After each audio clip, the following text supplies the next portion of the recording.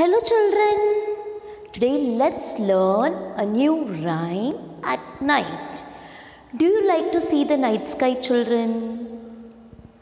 What all things do you see at night in the sky?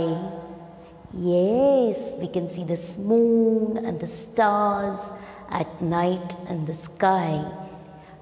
At night when the sun goes away and it's too dark for me to play, I like to come inside and look for new friends in a story book.